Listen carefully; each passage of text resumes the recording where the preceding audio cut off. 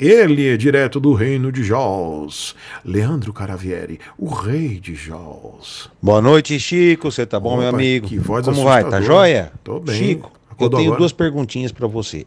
A hum. primeira. Hum. A Royal vai conseguir manter os preços da Super Meteor no patamar que estão? Porque é o seguinte, não estão entregando, não estão não entregando aí, estão muito assim, tá muito escasso o número de super meteoros, você sabe o mercado, né? Produto escasso, automaticamente Sim. o preço alto. E a segunda pergunta: será que quando chegar a Shotgun for lançada, antes dela ser lançada a Shotgun, a Royal Enfield, numa estratégia, poderá aumentar o preço da Super Meteor para poder também ter um preço um pouco mais elevado a, da Shotgun? O que, que você acha, Chico? Pode ocorrer isso daí? Pode, mas eu vou eu vou apostar na manutenção do preço que está hoje. O que eu conversei, pelo que eu senti na conversa, obviamente que isso não quer dizer nada, tá? Isso que eu vou passar para vocês não quer dizer que isso vai ser seguido. Mas a conversa que eu tive lá com a, os dirigentes da Royal é que eles querem, desejam manter o preço. Esse preço que tá.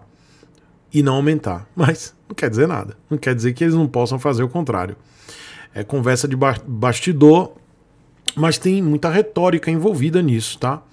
É, mas também não é só a vontade dos dirigentes. Eu tenho certeza, pelo que eu conversei e o que eu converso com algumas pessoas de dentro da Royal, e aí eu, agora vou falar uma coisa que é a minha percepção muito particular, fora do, da conversa assim de, de evento tal, mas qual é o meu sentimento em relação a algumas pessoas que eu converso lá dentro? Há a intenção de botar o preço do jeito que está e brigar vender naquele preço, nesses 35 mil. É o intuito dos caras. Eu estou dizendo, é uma conversa além dos bastidores. Estou dando a real para vocês. O que eu converso de forma muito pessoal com algumas pessoas lá dentro. Eles querem isso. Mas daí querer e poder tem um abismo. Por quê? Tem a matriz, tem o dólar. Não é nem a questão, ah, vamos ganhar dinheiro para a gente poder é, performar como tinha na gestão anterior. A gestão anterior ela estava num esquema de ter que performar para justificar a própria existência. Essa nova gestão ela está num esquema diferente. Ela está no esquema de que cheguei agora, eu preciso obviamente performar para poder comprovar isso para a matriz. Mas antes de eu performar, somente por performar, eu preciso mostrar credibilidade para o público, fazer valer a minha nova gestão e também fazer as coisas acontecerem, desenrolar um monte de coisa que estava reprimida. Muitos produtos que estavam atrasados, reprimidos. Só que existem outros fatores, Leandro e público que está me assistindo, que impactam diretamente nessas, nesses posicionamentos. Primeiro, logística. Eu já fiz um vídeo aqui longo explicando o problema de logística hoje é, e eu fiz, eu vou colocar no card, vou fazer alguma coisa para vocês verem. Assista esse vídeo, é um vídeo muito elucidativo, com informações, custos e, e toda justificativa para vocês entenderem o problema da cadeia logística. E aí, para ser mais claro com as pessoas, é o traslado mesmo, é o transporte que sai lá da Ásia para cá, da Índia para cá de navio. Antes, a, o container ele custava 2.500 dólares, ou seja, ficou quase aí o preço pré-pandemia, 2019, que estava entre 2.000 abaixo de 2.000, ficava oscilando, né? Depois voltou ao patamar de 2.000, subiu um pouco, ficou 2.500 dólares. Não é real, não é real, tá? É dólar. Container se contabiliza, o custo é em dólar. Todo traslado é em dólar. E vocês sabem que o dólar tá pipocado. O dólar bateu ontem, deixa eu só ver hoje aqui, 5,42. Bora ver quanto é que bateu hoje. Bora ver quanto é que bateu o dólar hoje? Quanto fechou? 5,44 o dólar. Hoje, dia 18 de junho de 2024. Já virou, porque agora é dia 19, mas estamos na madrugada, mas hoje o dólar, a cotação do dólar fechou em 5,44, ou seja, já tem três dias de alta. Na realidade, não, três não. Tem desde o dia 15 de junho. Desde o dia 15, alta constante, tá? Teve uma queda do dia 14 para o dia 15 e do dia 15 até hoje, dia 18, né? Alta no dólar, fechando hoje em 5,44. Tudo isso afeta preço futuro. Então todas essas montadoras, elas fazem o preço futuro, baseado exatamente num cálculo de 3 meses, 90 dias ou 6 meses. Depende muito do, do parâmetro de cada montadora. Isso pode afetar sim os planos da Royal Enfield nessa manutenção dos 35 mil reais do preço da Super Meteor, porque existem novas motos vindo, novos, eh, novas motos vindo para o Brasil nos kits CKD. Então essas motos elas virão completamente desmontadas e esses kits custam dólar, em dólar. Então a matriz ela vai ter que ou subsidiar esse valor, ou seja, para poder compensar esse valor, esse estouro do dólar, ela vai ter que botar dinheiro para poder manter os 35 mil. Mas por outro lado, o, o senhor Patini, o time atual da Royal, eles precisam mostrar para as pessoas que a palavra deles vale. Porque se a moto foi lançada há dois, três meses atrás e eles lançaram com o valor de 35 mil reais. Mas as pessoas ainda não receberam a maioria dessas motos. Algumas pessoas já começaram a receber a Super Meteor, mas não a grande maioria. Então a percepção do consumidor é que se ele aumentar, ele, a Royal aumentar, a Royal Brasil aumentar agora, não valeram os 35 mil, ou seja, foi conversa fiada. Então existe muita questão da percepção do público em relação a essa nova gestão. Então, por isso que eu estou trazendo e ninguém me disse isso não, tá, gente? Isso é uma percepção minha, é uma interpretação minha e é uma análise minha, pessoal, tá? Ninguém me falou isso lá dentro da Royal. Mas o que eu sei de dentro da Royal é que eles querem manter este preço. Eu não tô falando para agradar dirigente nenhum, não. Eu tô tendo uma conversa com o meu público. E a percepção é essa. Queremos manter o preço porque a gente quer que as pessoas tenham essa percepção de que a gente quer vender a moto, a gente quer ir por a faca, a gente quer brigar no mercado. Mas aí vem Aí volta para mim. Mas existe custo logístico que saiu de 2.500 para 9 mil dólares. Eu falei isso lá no vídeo. 9 mil, pipocou. O dólar tá 5,44. Essas motos custam em dólar. Será que esse, esse valor do dólar vai continuar daqui a 2, 3, 5, 6 meses? Será que vai pipocar para 6 mil, 6 reais? Será que vai para 6 reais? Gente, todas as montadoras elas fazem projeções, como eu falei, 90, 60, 90, 6 meses três meses ou seis meses, se o dólar continuar em alta, é impossível, impossível ter algum tipo de vantagem, é, lucratividade, mantendo a moto nesse preço. Então tem que ter reajuste. Não falo somente na, na Royal, são todas as montadoras, Honda, Yamaha, todas vão ter que aumentar os seus preços para não terem prejuízos. Empresa não é instituição de caridade, não é instituição filantrópica. Visa o lucro. Eles não querem ser amigos de vocês, eles querem vender produtos para vocês.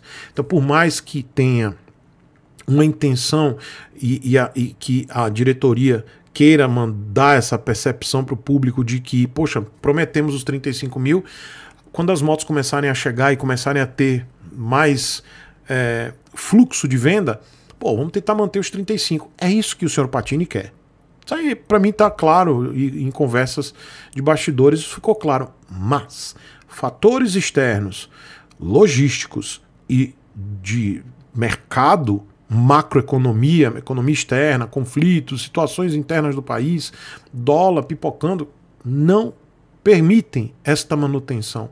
Eu não estou passando pano, não estou defendendo, mas eu sempre trago informações contextualizadas da geopolítica, do mercado macroeconômico, da, da, da questão macroeconômica, do mercado interno e externo, para que vocês entendam que existem muitos, muitas ramificações e que não é simples dizer assim, aumentou porque aumentou.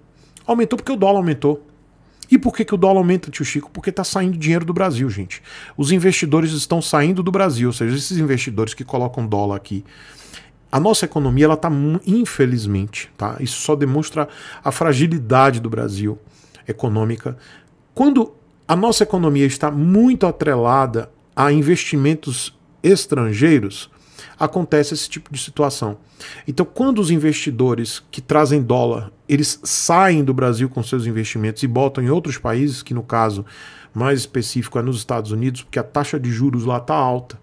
Taxa de juros é maior rentabilidade. Então, o que, que eles, eles veem? Pô, o Brasil tem um monte de situação que não está legal, altos gastos, né, gasto público lá em alta. Então vamos tirar o dinheiro daqui, vamos botar lá nos Estados Unidos que a taxa de juros está legal, está me dando mais rentabilidade, mais rendimento. Eu vou tirar o dinheiro daqui e vou botar na aplicação lá. Nosso mercado, nossa economia é muito atrelada às especulações do mercado financeiro. O mercado financeiro é escroto. E é isso, quando a economia é muito frágil e muito atrelada ao mercado financeiro que vive de muitas especulações e muitos fatos também, mas é meio a meio, ou talvez um pouco mais para as especulações, a gente fica frágil, é, a moeda é muito frágil. Este é o problema de uma economia atrelada demais ao mercado financeiro. A gente não tem um lastro para poder dar o soda-se para esses caras, a gente tem uma, uma certa autossuficiência para manter a nossa moeda forte. Nós não temos isso. Esse é o ponto. Então, saem os investidores, o dólar sai, o real desvaloriza. E o real foi a segunda moeda que mais desvalorizou no mundo. Este é um dos problemas. E aí, vamos olhar para a Royal lá da Índia, os, os proprietários lá da Royal, eles olham assim, putz, o Brasil tá com toda essa situação aí do real desvalorizando, a segunda moeda mais desvalorizada do mundo, putz, cara, a gente vai ter que botar dinheiro para poder lançar essa Super Meteor, vender a Super Meteor, a gente vai ter que manter o, o preço, sendo que está tudo mais caro, o frete está mais caro, o dólar está tá mais alto lá para o Brasil, a moeda desvalorizada, fica difícil. Tá? Então, qual a minha, a minha perspectiva? Se nos próximos uh, 60 dias o dólar continuar pipocando, não baixar, difícil o preço continuar no valor que a Royal Brasil pratica. Eu não estou dizendo corram para as colinas, saiam correndo para as concessionárias. Gente, não é isso. Não saiam correndo para comprar. Se aumentar, deixa lá. Não compre. Passou do seu orçamento? Não compre. Consumo consciente. Ah, mas eu não vou ter. Não vai ter. Deixa o dinheiro aplicado. Se nos próximos 60 dias continuar esse rally doido, né, o, o dólar pipocando, vai aumentar. E você não vai ter. Pronto, não vai ter. Outra oportunidade espera. Ah, mas aí não baixa mais o preço. Não sei, cara. Pode ter uma promoção, sei lá. Mas não adianta eu dar uma notícia dessa e vocês saírem correndo para comprar. Porque aí só inflaciona. Então pode ser que nos próximos 60 dias a situação melhore. O dólar volta lá para a faixa dos 5 reais. Aí sim. Tá? Mas a, a tendência é eu vou fechar esse raciocínio. É impossível falar de macroeconomia, geopolítica e dólar e o preço dos veículos e de motos sem contextualizar e ser muito é, longo nessa contextualização. E eu não vou dizer que eu estou sendo prolixo, tá? Eu estou falando uma coisa muito importante para vocês, contextualizando. Para fechar, este ano de 2024 é um ano tenso, é um ano especificamente tenso no mundo é o ano com maior número de eleições presidenciais em supostas democracias no mundo, ou pseudodemocracias ou democracias legítimas no mundo. A maioria dos países no mundo que tem democracia, né, ou um projeto democrático ou pseudodemocrático, estão em eleições presidenciais. Isso gera uma tensão global. Por quê? Todo ano político, todo ano de eleição gera tensão. As economias estão em tensão pura no mundo inteiro, porque vai mudar presidente. Tem conflitos, polarizações no mundo. Então é um ano especificamente tenso, tá? Tudo isso gera instabilidade em algumas bolsas, sendo que a bolsa da Europa não está instável, Alguns países não estão com estabilidade nas bolsas, mas o Brasil está sofrendo muito com algumas instabilidades, tá? É, e é isso, tá? É um ano especificamente tenso e eu já previ, inclusive, isso de estabilidade é, é, política em alguns países e isso ia afetar a nossa economia de qualquer forma, porque a nossa economia é frágil.